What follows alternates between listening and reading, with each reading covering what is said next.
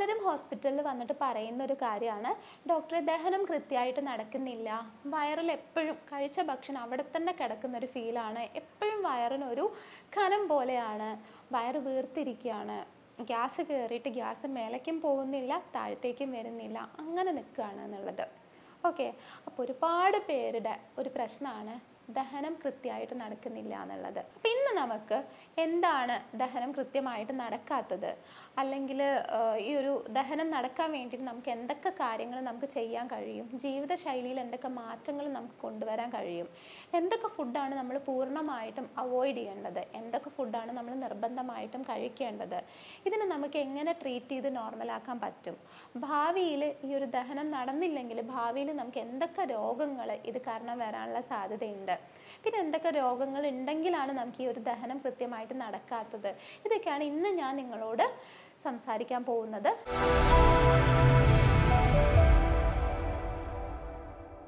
ഞാൻ doctor Tinu S senior consultant doctor Basil Soumya hospital Pandikkad Malappuram ജില്ല. ആദ്യമായിട്ട് ഈ ഒരു ദഹനം നടന്നില്ലെങ്കിൽ ഒരാൾ എന്തൊക്കെ സിംറ്റംസ് ആണ് സാധാരണ പറയാറ്? ഇപ്പം എന്നോടൊരു പേഷ്യന്റ് വന്നിട്ട് എന്താ പറയാറുള്ളത് ഞാൻ പറയാം. വയറിൽ നമ്മൾ ഫുഡ് കഴിച്ചാലും ഇത് മണിക്കൂറുകൾ വിശപ്പില്ലാതെ ആ ഫുഡ് പിന്നെയും ഹെവിയായി ഹെവിയായി നമുക്ക് എന്തോ ഭക്ഷണം വേണ്ടാത്ത പോലെ വയറൊരു കനം പോലെ ഫീൽ ചെയ്യുക വയറിൽ ഗ്യാസ് കയറി അങ്ങ് വീർക്കും. എന്നാൽ ഇത് മേലേക്കും വരില്ല മേലെ വന്നൊരു ഏമ്പക്കം വന്ന് പോവുകയില്ല എന്നാൽ താഴേക്ക് പോവുകയില്ല ഇൻ കേസ് അങ്ങനെ പോയാൽ തന്നെ ഈ ഒരു ഏമ്പക്കത്തിൽ നമ്മൾ ആ ഒരു കഴിച്ച ഭക്ഷണത്തിന്റെ ടേസ്റ്റ് ഒരു രണ്ട് മൂന്ന് മണിക്കൂർ കഴിഞ്ഞാലും നമുക്ക് ഫീൽ ചെയ്യും. അതേപോലെ കീഴ്വായു പോവുകയാണെങ്കിൽ കീഴ്വായുവിന് ദുർഗന്ധം വരിക ഓക്കെ പിന്നെ അടുത്തതാണ് ഭക്ഷണം വേണ്ടാത്തൊരു ഫീൽ നമുക്ക് ചിലരൊക്കെ പറയുന്ന കാര്യമാണ് പേരിന് ഞാൻ മൂന്ന് തരം ഭക്ഷണം കഴിക്കുന്നതാണ് എനിക്ക് വിശക്കാറില്ല ഡോക്ടറെ എന്ന് പറയാറുണ്ട്. ഇതൊക്കെ ദഹനക്കുറവിന്റെ ലക്ഷണങ്ങളാണ്. ഭക്ഷണം വേണ്ടാത്ത പോലെ നമ്മൾ ഭക്ഷണം കണ്ടാലും നമുക്കത് കഴിക്കാൻ തോന്നില്ല. ഓക്കെ അമിതമായിട്ട് ക്ഷീണം വരിക ഒരു ഉന്മേഷക്കുറവ്. നമ്മൾ രാവിലെ തൊട്ട് രാത്രി വരെ നമുക്കൊരു ഉന്മേഷമില്ലാത്ത അവസ്ഥ ഒരു ജോലി ചെയ്യാനും നമുക്കൊരു താല്പര്യം ഇല്ലാതെ തോന്നുക അതുപോലെ തലവേദന തലയ്ക്ക് മന്ദത ഇതെല്ലാം നമുക്ക് ദഹനം കൃത്യമല്ലെങ്കിൽ നമുക്ക് ഉണ്ടാവുന്ന സിംറ്റംസ് ആണ് ലക്ഷണങ്ങളാണ്. എന്നോട് മിക്കവാറും പേഷ്യൻസ് വന്ന് പറയാറുള്ള ലക്ഷണങ്ങളിൽ ഏറ്റവും പ്രധാനപ്പെട്ട കാര്യങ്ങളാണ് ഇവയൊക്കെ. ഓക്കെ. അപ്പോൾ ഞാൻ ആദ്യമായിട്ട് നിങ്ങൾക്ക് എങ്ങനെയാണ് ഒരു ദഹനം കൃത്യമായിട്ട് നടക്കാൻ വേണ്ടിയിട്ട് നമ്മൾ എന്തൊക്കെ കാര്യങ്ങളാണ് നമ്മൾ നമ്മുടെ ലൈഫിൽ കൊണ്ടുവരേണ്ടത് എന്നുള്ളത് പറഞ്ഞു തരാം. വളരെ സിമ്പിളാണ് ഇത് ഈ രീതിയിൽ നിങ്ങൾ ചെയ്യുകയാണെങ്കിൽ ഒരു പരിധി വരെ നിങ്ങൾക്ക് ദഹന സംബന്ധമായ രോഗങ്ങൾ വരാതിരിക്കാൻ വേണ്ടിയിട്ട് ഹെൽപ്പ് ചെയ്യും. ഏറ്റവും പ്രധാനപ്പെട്ടതാണ് രാവിലെ എണീറ്റാൽ ഏറ്റവും ആദ്യം ഒരു ഗ്ലാസ് വെള്ളം കുടിക്കുക. തിളപ്പിച്ചാറിയ വെള്ളം ഒരു ഗ്ലാസ് കുടിക്കുക. ഇതിന് ശേഷം കൃത്യമായിട്ടുള്ള വ്യായാമം ചെയ്യാം. ഈ വ്യായാമം എന്ന് പറയുമ്പോൾ നിങ്ങൾക്ക് ഹെവി ആയിട്ട് നിങ്ങൾക്ക് ചെയ്യാൻ പറ്റാത്ത രീതിയിലുള്ള വ്യായാമം ഒന്നും ചെയ്യേണ്ട ആവശ്യമില്ല. നിങ്ങൾക്ക് നടക്കാം. കയ്യും വീശി നന്നായിട്ടൊരു മുപ്പത് മുതൽ നാൽപ്പത് മിനിറ്റ് വരെ നടക്കാം. അതേപോലെ നിങ്ങൾക്ക് സ്ലോ ആയിട്ട് ഓടാൻ കഴിയുമെന്നുണ്ടെങ്കിൽ അത് ചെയ്യാം. സൈക്ലിംഗ് പറ്റുമെന്നുണ്ടെങ്കിൽ സൈക്കിൾ നന്നായിട്ട് ചവിട്ടി കുറച്ച് ദൂരമൊക്കെ പോയി വരാൻ പറ്റുമെന്നുണ്ടെങ്കിൽ അതും ഭയങ്കര നല്ലതാണ്. ഓക്കെ ഇങ്ങനെയുള്ള പല കാര്യങ്ങളും നമുക്ക് ചെയ്യാൻ പറ്റും. നിങ്ങൾക്കിപ്പോൾ പുറത്തേക്ക് പോയി ഒരു എക്സസൈസ് ചെയ്യണം എന്നൊന്നുമില്ല നിങ്ങൾ വീട്ടിന്റെ മുറ്റത്ത് തന്നെ നിങ്ങളിങ്ങനെ നടക്കുകയോ ഓടുക ഇങ്ങനെ എന്തെങ്കിലുമൊക്കെ ചെയ്താൽ മതി. ഇതൊരു എക്സസൈസാണ് ഓക്കെ ഇനി അടുത്തത് ഈ ഒരു എക്സസൈസ് കഴിഞ്ഞ് പിന്നെ ചെയ്യേണ്ട കാര്യം നിങ്ങൾ ഫുഡ് കൃത്യസമയത്ത് കഴിക്കുക. അതായത് ഇപ്പോൾ നമ്മൾ മൂന്ന് നേരം ഭക്ഷണം കഴിക്കുന്നുണ്ട്. രാവിലെ ഒരു എട്ട് മണി എട്ടരയ്ക്ക് ബ്രേക്ക്ഫാസ്റ്റ് കഴിക്കുക. ഒരു മണി ഒന്നരയ്ക്ക് തന്നെ ലഞ്ച് കഴിക്കുക. അതേപോലെ തന്നെ രാത്രി ഒരു ഏഴരയുടെ അകത്ത് തന്നെ ഡിന്നർ കഴിക്കുക. ഈ ഭക്ഷണം കഴിക്കുമ്പോൾ ശ്രദ്ധിക്കേണ്ട കാര്യം നമ്മൾ ഒരിക്കലും വയറ് മുഴുവനായിട്ട് നിറയാൻ വേണ്ടി കാത്തിരിക്കരുത്. എപ്പോഴും നമ്മൾ ഭക്ഷണം കഴിക്കുമ്പോൾ പകുതി വയറ് കഴിക്കുക. ഇനി കുറച്ച് ഭക്ഷണം കഴിച്ചാലും വയറിൽ സ്ഥലമുണ്ട് എന്നുള്ള രീതിക്ക് വേണം നമ്മൾ ഭക്ഷണം കഴിക്കാൻ. അതേപോലെ വെള്ളം കുടിക്കുമ്പോൾ ശ്രദ്ധിക്കേണ്ട കുറച്ച് കാര്യങ്ങളുണ്ട്. ഭക്ഷണത്തിന്റെ ഒരു അരമണിക്കൂർ മുൻപ് മാത്രം വെള്ളം കുടിക്കുക. അതേപോലെ തന്നെ ഭക്ഷണം കഴിച്ച് അരമണിക്കൂറിന് ശേഷം മാത്രം വെള്ളം കുടിക്കുക. അത് ഈ മൂന്ന് നേരം അങ്ങനെയാണ് രാവിലെ ആയിക്കോട്ടെ രാത്രി ആയിക്കോട്ടെ ഉച്ചയ്ക്ക് ആയിക്കോട്ടെ നമ്മൾ ഒരിക്കലും ഭക്ഷണം കഴിച്ചുകൊണ്ടിരിക്കുമ്പോൾ വെള്ളം കുടിക്കരുത്. അത് തെറ്റായ ഒരു രീതിയാണ്. ഇത് നമ്മുടെ ദഹനത്തിനെ നല്ല രീതിയിൽ ബാധിക്കാറുണ്ട്. ഓക്കെ. ഇനി അടുത്തത് വെള്ളം കുടിക്കുന്ന അളവ്. നമ്മൾ രണ്ട് മുതൽ മൂന്ന് ലിറ്റർ വരെ എന്തായാലും വെള്ളം കുടിക്കണം. ഇപ്പം നല്ല രീതിയിൽ വിയർത്ത് വെയിലത്ത് ജോലി ചെയ്യുന്ന ഒരാളാണെങ്കിൽ ഒരു മൂന്ന് ലിറ്റർ വരെ വെള്ളം എന്തായാലും കുടിച്ചിരിക്കണം. അല്ല നമ്മൾ ഇപ്പോൾ ഒരു എ സിയിലൊക്കെ ഇരുന്ന് ജോലി ചെയ്യുന്നവരാണെങ്കിൽ ഒന്നര രണ്ട് ലിറ്റർ വരെ വെള്ളം കുടിക്കുക. ഇത് അത്യാവശ്യമാണ് നമ്മുടെ ദഹനത്തിനൊക്കെ. കാരണം ഈ ഒരു വെള്ളം ആവശ്യത്തിന് നമ്മുടെ ഫുഡിൽ ഉണ്ടെങ്കിൽ മാത്രമേ ഉള്ളൂ. നല്ല രീതിയിലുള്ള ശോധന കൃത്യമായിട്ട് നടക്കുള്ളൂ. അതേപോലെ തന്നെ കൃത്യമായിട്ട് ഉറങ്ങുക. ഓക്കെ. അതായത് ഒരു ആറ് മുതൽ എട്ട് മണിക്കൂർ ഉറക്കം രാത്രി അത്യാവശ്യമാണ് പകൽ ഉറങ്ങരുത് രാത്രി തന്നെ ഉറങ്ങണം. രാത്രി ഉറങ്ങേണ്ട ഉറക്കം രാത്രി ഉറങ്ങുക. ഒരിക്കലും ഇത് പകൽ ഉറങ്ങരുത്. ഓക്കെ. പിന്നെ ഒരു പത്തര മുതൽ പതിനൊന്ന് മണി. ഇതിനിടയ്ക്ക് തന്നെ രാത്രി ഉറങ്ങാൻ ശ്രമിക്കുക. രാവിലെ അഞ്ചര മുതൽ ആറ് മണി. ഇതിനിടയ്ക്ക് തന്നെ എണീക്കാൻ ശ്രമിക്കുക. ഇത്രയും കാര്യങ്ങൾ നിങ്ങൾ ചെയ്യുകയാണെങ്കിൽ ഭയങ്കര നല്ലതാണ്. ഈ ഒരു ദഹന സംബന്ധമായ പ്രശ്നങ്ങളിൽ നിങ്ങൾക്ക് ഒരു അമ്പത് ശതമാനത്തോളം നിങ്ങൾക്ക് കുറവ് ഫീൽ ചെയ്യും ഇത്രയും കാര്യങ്ങൾ ചെയ്താൽ അടുത്തതായിട്ട് നമുക്ക് എന്തൊക്കെ ഭക്ഷണങ്ങൾ നമ്മൾ ഒഴിവാക്കണം. കൃത്യമായിട്ട് ദഹനം കിട്ടണമെങ്കിൽ എന്ന് ചോദിച്ചാൽ ഹോട്ടൽ ഫുഡ് മാക്സിമം ഒഴിവാക്കുക. അതേപോലെ റെഡ് മീറ്റ് മാക്സിമം ഒഴിവാക്കുക. അതേപോലെ നമ്മളിപ്പോൾ ചിക്കൻ കഴിക്കുന്നുണ്ടെങ്കിൽ രണ്ടാഴ്ചയിൽ ഒരിക്കലൊക്കെ അതിനെ കറി വെച്ച് മാത്രം കഴിക്കുക പൊരിച്ച് കഴിക്കരുത്. മറ്റൊന്നാണ് വൈറ്റ് റൈസ് ഒഴിവാക്കുക. ഗോതമ്പ് പോലുള്ള നിങ്ങൾക്ക് അലർജി വരുത്തുന്നതായ ചിലർക്ക് ഗോതമ്പ് ഓട്സ് ഇവയൊക്കെ അലർജി വരുത്താറുണ്ട്. അങ്ങനെയുള്ള ഭക്ഷണങ്ങൾ നിങ്ങൾ കണ്ടെത്തിയിട്ട് അത് ഒഴിവാക്കുക. അതേപോലെ തന്നെ നിങ്ങൾ ഒരുപാട് എരിവും പുളിയും ഒക്കെ കഴിക്കുന്നവരാണെങ്കിൽ അത് ഒഴിവാക്കുന്നത് നല്ലതാണ്. അമിതമായിട്ടുള്ള പഞ്ചസാര പ്രോസസ്ഡ് ആയിട്ടുള്ള ഫുഡ് മൈദ ഇവയൊക്കെ നിങ്ങൾ ഭക്ഷണത്തിൽ നിന്ന് ഒഴിവാക്കി കഴിഞ്ഞാൽ നിങ്ങൾക്ക് നല്ല രീതിയിൽ ദഹനം കിട്ടാറുണ്ട്. പിന്നെ എന്തൊക്കെ ഫുഡ് നമ്മൾ കഴിച്ചിരിക്കണം എന്ന് ചോദിച്ചാൽ നല്ല രീതിയിൽ നമുക്ക് കഴിക്കാൻ പറ്റുന്നതാണ് പച്ചക്കറി. പച്ചക്കറി ഒരുപാട് നാരടങ്ങിയ പച്ചക്കറി വൈറ്റമിൻ സി അടങ്ങിയ പച്ചക്കറി ഇവയൊക്കെ നന്നായിട്ട് കഴിക്കുക. ഫ്രൂട്ട്സ് ഇതേപോലെ തന്നെ വൈറ്റമിൻ സി അടങ്ങിയ ഫ്രൂട്ട്സ് നന്നായിട്ട് കഴിക്കുക. നമുക്ക് ദഹനം കിട്ടാൻ വേണ്ടിയിട്ട് ഹെൽപ്പ് ചെയ്യുന്ന ഫ്രൂട്ട്സാണ് പപ്പായ പേരയ്ക്ക കിവി ഇവയൊക്കെ നല്ല രീതിയിൽ ദഹനം കിട്ടാൻ വേണ്ടിയിട്ട് ഹെൽപ്പ് ചെയ്യും.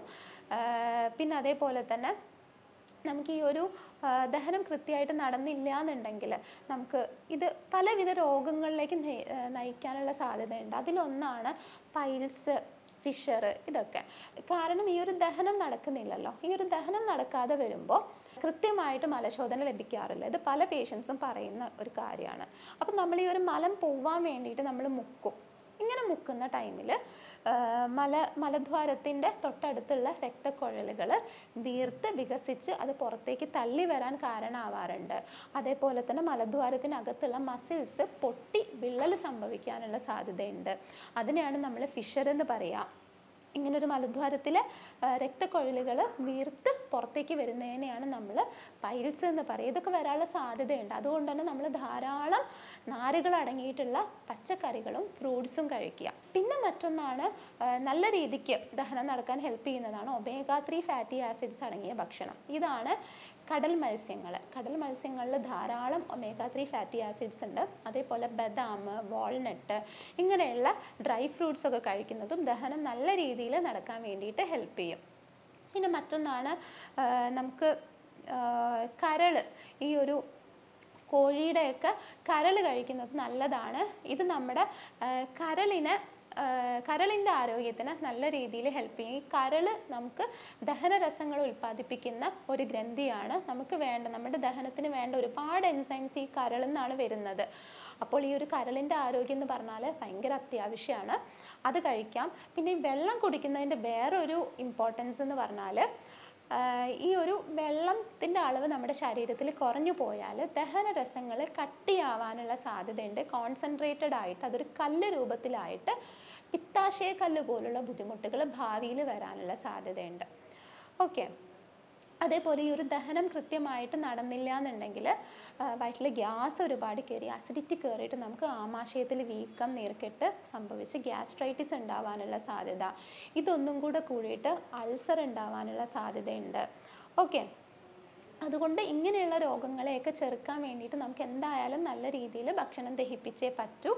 അതിന് വേണ്ടിയിട്ട് നമ്മൾ നല്ല രീതിക്ക് വീട്ടിൽ തന്നെ ഉണ്ടാക്കിയ ഭക്ഷണം ധാരാളമായിട്ട് നമ്മുടെ ഭക്ഷ ആഹാരത്തിൽ ഉൾപ്പെടുത്താൻ ശ്രമിക്കുക. ഓക്കെ പിന്നെ അടുത്തത് നമ്മുടെ ദഹനത്തിന് ആവശ്യമായ വൈറ്റമിൻസ് ഉള്ള വേറെ ഒരു പച്ചക്കറിയാണ് ക്യാബേജ് കോളിഫ്ലവർ ബ്രക്കോളി ഇവയൊക്കെ നന്നായിട്ട് കഴിക്കുക. ഇതിൽ വൈറ്റമിൻ സി ഉണ്ട്. അതേപോലെ തന്നെ ഇതിൽ കോളിൻ എന്ന് പറഞ്ഞിട്ടുള്ള ഒരു പ്രോട്ടീൻ ഉണ്ട്. ഇതും നമ്മുടെ ദഹനത്തിന് നല്ല രീതിയിൽ ഹെൽപ്പ് ചെയ്യും. പിന്നെ നമുക്ക് ദഹനം നടന്നില്ലെങ്കിൽ നമ്മുടെ ശരീരത്തിൽ ആവശ്യത്തിന് വൈറ്റമിൻസ് അയൺ ഇവയൊന്നും വലിച്ചെടുക്കില്ല. അതുകൊണ്ട് തന്നെ നമുക്ക് വൈറ്റമിൻ ഡെഫിഷ്യൻസി പോലുള്ള അതായത് നമുക്ക് വൈറ്റമിൻ സി ഡെഫിഷ്യൻസി വന്നിട്ട് നമുക്ക് വേറെ പല അസുഖങ്ങൾ മോണ വീക്കം അതേപോലെ മോണയിൽ നിന്ന് ബ്ലഡ് വരിക ഇതിനെ തുടർന്ന് ബ്ലഡ് കുറയുക അതേപോലെ തന്നെ അയൺ ഡെഫിഷ്യൻസി ഉണ്ടായിട്ട് നമുക്ക് ബ്ലഡ് കുറയുക ഇങ്ങനെയുള്ള പല അവസ്ഥകളും നമുക്ക് വരാനുള്ള സാധ്യതയുണ്ട്. അതുകൊണ്ട് നമ്മൾ എപ്പോഴും നമ്മൾ കഴിക്കുന്ന ഫുഡ് ഏതാണെന്നും ഇത് ഏതൊക്കെ നേരത്തെ നമ്മൾ കഴിക്കുന്നുണ്ടെന്നും എത്ര ക്വാണ്ടിറ്റി കഴിക്കുന്നുണ്ട് എന്നുള്ളതും ശ്രദ്ധിക്കുക. ഓക്കെ അടുത്തത് നമുക്ക് ഈ ഒരു ദഹനം പൊതുവെ നടക്കാത്തത് ആരിലേക്കാണെന്നുള്ളത് നോക്കാം. ദഹനക്കുറവ് പൊതുവെ എന്നോട് വന്ന് പറയാറ് ഈ ഐ ടി പ്രൊഫഷണൽസ് ഉണ്ടാവും. അവർക്ക് വ്യായാമം ഉണ്ടാവില്ല ശരീരത്തിന്. കുറേ നേരം ഒരു സ്ഥലത്ത് ഇരുന്ന് ജോലി ചെയ്യുന്നവരായിരിക്കും. അതേപോലെ ഓഫീസിൽ കണ്ടിന്യൂസ് ആയിട്ട് ഇരുന്ന് ജോലി ചെയ്യുന്നവരുണ്ടാവും വ്യായാമല്ലാതെ ഡ്രൈവേഴ്സ് ഉണ്ടാവും.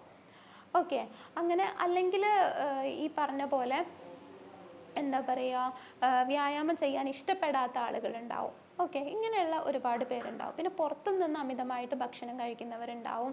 ഫാസ്റ്റ് ഫുഡ് ഒരുപാട് പ്രിഫർ ചെയ്യുന്നവരുണ്ടാവും. പിന്നെ ഇറച്ചി മീനും മാത്രം കഴിക്കാൻ ഇഷ്ടപ്പെടുന്നവരുണ്ടാവും. ഇങ്ങനെയൊക്കെ ഇങ്ങനെയൊക്കെയുള്ളവർക്കാണ് പൊതുവേ ഈ ഒരു ദഹനക്കുറവ് പൊതുവെ കാണുന്നത്. പലരും ഈ ഒരു ദഹന പ്രശ്നം കാരണം പലവിധ ബ്ലഡ് ടെസ്റ്റും സ്കാനിങ്ങും എൻഡോസ്കോപ്പിയും എല്ലാം ചെയ്തിട്ടുണ്ടാവും. എന്നാൽ ഇതിലൊന്നും ഒരു പ്രശ്നം ഉണ്ടാവില്ല. ഭാവിയിൽ ഇവർക്ക് വയറിൽ പുണ്ണ് ഗ്യാസ്ട്രൈറ്റിസ് പൈൽസ് ഫിഷർ അതേപോലെ അൾസറേറ്റീവ് കൊളൈറ്റിസ് കോൺസ് ഡിസീസ് ഇതുപോലുള്ള രോഗങ്ങൾ വരാനുള്ള സാധ്യതയുണ്ട്. അതേപോലെ ഈ രോഗങ്ങളൊക്കെ ഉണ്ടെങ്കിലും ഞാൻ ഈ പറഞ്ഞ സിംറ്റംസ് കാണിക്കാറുണ്ട് കേട്ടോ. അതുകൊണ്ട് നിങ്ങൾക്ക് ഇങ്ങനെ എന്തെങ്കിലുമൊക്കെ ഉണ്ടെങ്കിൽ നിങ്ങൾ കൃത്യമായിട്ട് ഒരു ഡോക്ടറെ കണ്ടിട്ട് ഇത് വിട്ടുമാറുന്നില്ല എന്നുണ്ടെങ്കിൽ കൃത്യമായിട്ടൊരു ഡോക്ടറെ കണ്ടിട്ട് നിങ്ങൾ നിങ്ങളിതിന് ട്രീറ്റ്മെന്റ് എടുക്കുക.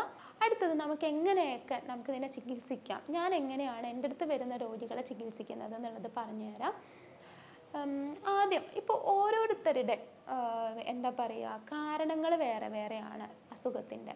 ഓരോരുത്തരുടെ ലക്ഷണങ്ങൾ വേറെ വേറെയാണ്. ഇപ്പോൾ ദഹന പ്രശ്നം കാരണം ചിലർക്ക് വയറ് വേർക്കലായിരിക്കും അനുഭവപ്പെടുന്നത്. ചിലർക്ക് വയറ് വേദന ഉണ്ടാവും. ചിലർക്ക് നെഞ്ചെരിച്ചിലുണ്ടാവും. ചിലർക്ക് പുളിച്ചു തോട്ടലുണ്ടാവും ചിലർക്ക് കീഴ്വായു ആയിരിക്കും ചിലർക്ക് ശോധനക്കുറവായിരിക്കും. ചിലർക്ക് ഇതെല്ലാം ഉണ്ടാവും. ഇതൊക്കെയാണ് ഓരോരുത്തരുടെ ലക്ഷണങ്ങൾ. ഇതിന്റെ കാരണങ്ങൾ ഓരോരുത്തർക്കും ഓരോന്നായിരിക്കും. ചിലർക്ക് ടെൻഷൻ ആയിരിക്കും കാരണം. ചിലർക്ക് അവരുടെ ജോലി സംബന്ധമായിട്ടുള്ള ആ ഒരു എന്താ പറയുക റെസ്റ്റ് ഇതായിരിക്കും അവരുടെ കാരണം. വ്യായാമക്കുറവായിരിക്കും. ചിലർ വ്യായാമം ചെയ്യാനേ ഇഷ്ടപ്പെടാത്ത ആളുകളായിരിക്കും. ഇതൊക്കെ ആയിരിക്കും കാരണം. അതുകൊണ്ട് തന്നെ ഞാൻ ചെയ്യാറ് എന്താന്ന് വെച്ചാൽ രോഗിയുടെ മുഴുവനായിട്ടുള്ള കാര്യങ്ങൾ അതായത് മാനസികവും ശാരീരികവുമായിട്ടുള്ള എല്ലാ കാരണങ്ങളും കണക്കിലെടുത്തിട്ട് ഒരു യൂറോപ്യൻ നിർമ്മിത സോഫ്റ്റ്വെയറിന്റെ സഹായത്തോട് കൂടിയിട്ട് രോഗനിർണയം നടത്തി ജർമ്മനിയിൽ നിന്നുള്ള മെഡിസിൻസ് ആണ് കൊടുക്കാറ്. അതുകൊണ്ട് തന്നെ നമുക്ക് ആ ഒരു രോഗകാരണം കണ്ടെത്തിയിട്ടാണ് നമ്മൾ ഈ രോഗിയെ ചികിത്സിക്കുന്നത്. ഓക്കെ അപ്പം ഇങ്ങനെയാണ് നമ്മൾ പൊതുവെ രോഗിക്ക് ചികിത്സ നൽകുന്നത്. ഓക്കെ ഇനി ഞാൻ എന്തൊക്കെ കാര്യങ്ങൾ നമുക്ക് വീട്ടിലിരുന്ന് ഈ ഒരു ദഹനക്കുറവ് മാറാൻ വേണ്ടിയിട്ടും ഈ ദഹനക്കുറവ് ഒരു പരിധി വരെ വരാതിരിക്കാനും നമുക്ക് ചെയ്യാൻ കഴിയും എന്നുള്ളത് നോക്കാം. നമുക്ക് ദഹനം ഇമ്പ്രൂവ് ചെയ്യാൻ വേണ്ടിയിട്ടുള്ള ടിപ്പാണ് ഞാൻ പറയുന്നത്. നിങ്ങൾക്ക് നിങ്ങളുടെ ഈ ഒരു രണ്ട് വിരൽ നിങ്ങളുടെ പുക്കിളിന്റെ തൊട്ട് താഴെയായിട്ട് ഇങ്ങനെ വെച്ച് ഈ ഒരു രണ്ടാമത്തെ വിരലുണ്ടല്ലോ അത് പുക്കിളിന്റെ നേരെ താഴെ ഈ ഒരു രണ്ടാമത്തെ വിരലിൽ പ്രസ് ചെയ്ത് ഈ വിരലെടുക്കുക ആ വിരൽ നിന്ന ആ ഒരു പൊസിഷനിലായിരിക്കണം നിങ്ങളുടെ ഈ ഒരു ഫിംഗർ എന്നിട്ട് എന്ത് ചെയ്യുക? ഇതിനെ നിങ്ങൾ ഇങ്ങനെ പ്രസ് ചെയ്ത് കൊടുക്കുക. ഇതൊരു പ്രഷർ പോയിന്റ് ആണ്. ഇവിടെ പ്രസ് ചെയ്ത് കഴിഞ്ഞാൽ ദഹനം ഇമ്പ്രൂവ് ചെയ്യാൻ വേണ്ടിയിട്ടും ദഹനക്കുറവ് എന്റെ ആ ഒരു സിംറ്റംസ് കുറയാൻ വേണ്ടിയിട്ടൊക്കെ ഇത് നല്ല രീതിയിൽ ഹെൽപ്പ് ചെയ്യും. അതുകൊണ്ട് തന്നെ ഡെയിലി ഇതൊരു രണ്ട് പ്രാവശ്യമൊക്കെ ചെയ്യുന്നത് ഭയങ്കര നല്ലതാണ്. അതേപോലെ തന്നെ നിങ്ങൾക്ക് ജാതിക്കയുടെ കുരു എടുത്തിട്ട് ചതച്ച് വെള്ളത്തിലിട്ട് തിളപ്പിച്ച് ഈ ഒരു വെള്ളം കുടിക്കുന്നതും ദഹനക്കുറവ് മാറാൻ വേണ്ടിയിട്ടും ഭക്ഷണം നല്ല രീതിയിൽ ദഹിക്കാൻ വേണ്ടിയിട്ടും ഹെൽപ്പ് ചെയ്യുന്നതാണ്. ഇത്രയും കാര്യങ്ങളെല്ലാം നിങ്ങൾ ചെയ്തിട്ടും നിങ്ങൾക്കിതൊന്നും മാറുന്നില്ല എന്നുണ്ടെങ്കിൽ ട്രീറ്റ്മെന്റിന് വേണ്ടിയിട്ട് നിങ്ങൾക്ക് എന്നെ കോൺടാക്റ്റ് ചെയ്യാവുന്നതാണ്. ഞാൻ doctor Tinu S senior consultant doctor Basil Soumya hospital Pandikkad Malappuram ജില്ല.